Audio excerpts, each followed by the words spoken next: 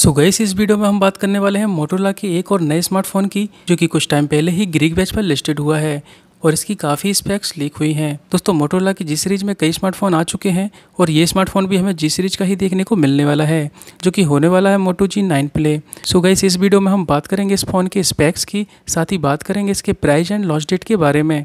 तो दोस्तों, स्वागत है आपका टेक रोज पर। जानकारी के लिए वीडियो में एंड तक बने रहें और अगर आप चैनल पर नए हैं तो चैनल को सब्सक्राइब कर लें ताकि आपको टेक वीडियोज़ मिलती रहें। सो दोस्तों मोटोरोला ने कुछ टाइम पहले ही मोटोरोला वन फ्यूजन प्लस के साथ में वापसी की है और इसके बाद एक के बाद एक मोबाइल लेके आ रहा है, वो भी काफ़ी कम बजट के अंदर। तो सबसे पहले बात करते हैं इसके डिस्प्ले की। तो इसमें आपको सिक्स इंच की H D plus L C display देखने को मिलती है, जो कि बाटर ड्रॉप नॉच के साथ में आएगी। डिस्प्ले के बाद दोस्तों, अगर बात करते हैं इसके परफॉर्मेंस की तो ग्रीक की लिस्टिंग के अकॉर्डिंग इसमें आपको स्नैपड्रैगन सिक्स सिक्स टू सौ चिपसेट दिया गया है, जो कि 1.8 पॉइंट गीगाहर्ट्ज पर क्लॉक्ड है। साथ ही इस फ़ोन में आपको फोर जीबी रैम और 128 जीबी इंटरनल स्टोरेज दी गई है, जो कि 512 जीबी तक बढ़ाई जा सकती है।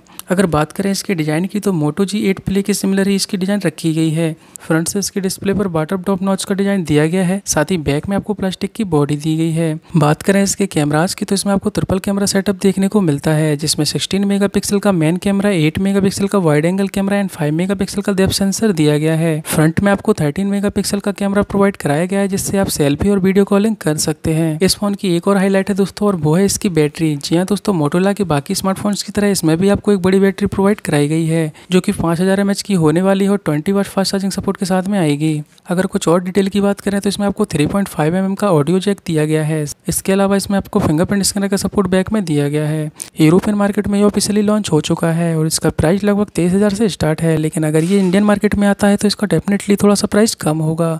और इसका स्टार्टिंग वेरियंट आपको पंद्रह से बीस में देखने को मिल जाएगा। ये स्मार्टफ़ोन आपको तीस जुलाई तक मार्केट में देखने को मिल जाएगा। तो गई साफ़ में बताइए कि आप मोटो जी नाइन प्ले के बारे में क्या सोचते हैं और क्या आप इसके लिए इंटरेस्टेड होंगे? अगर आपका कोई और भी कमेंट हो तो आप लिख सकते हैं। फ़िलहाल इस वीडियो में इतना ही दोस्तों। अगर वीडियो अच्छा लगा हो तो वीडियो को लाइक कर देना और चैनल पर पहली बार आए हैं तो चैनल को सब्सक्राइब कर लीजिए ताकि आपको स्टैक वीडियोज़ मिलते रहे। मैं मिलता हूँ आपको नेक्स्ट वीडियो में। जब तक के लिए गुड बाय